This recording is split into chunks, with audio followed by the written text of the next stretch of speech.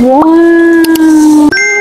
890 cành cho một đĩa hải sản khổng lồ 3 đến 4 người ăn mà có hẳn tôm hùm Alaska, chân cua tuyết Nga, vẹm xanh New Zealand và sò điệp Nhật. Và ở Hà Nội xin chào các bạn ở Hà Nội nha. Wow.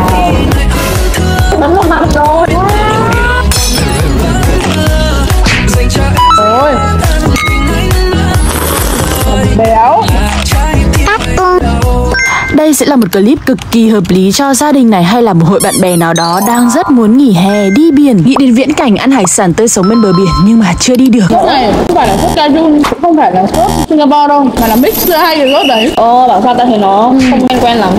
Trên hình chưa chắc đã thể hiện được cái độ to này đâu, ngoài nó siêu to, siêu nặng luôn. Một à. người bê không bê ở đâu. Bao nhiêu nhỉ? 890 mà một đĩa. Ừ, chia ra ba người mỗi người chỉ 300 nghìn thôi. Tao nghĩ là ba người thì không ăn hết rồi. Ăn hết. Bánh mình vẫn sao nữa.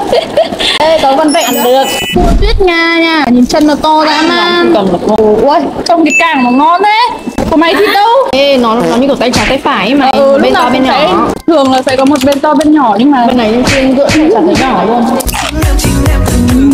Ôi, nó chắc lắm. Uhm, Ngon lắm.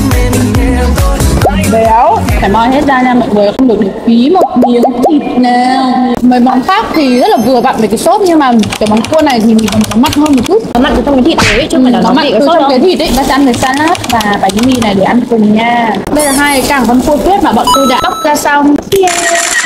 uhm, chắc nha chắc nha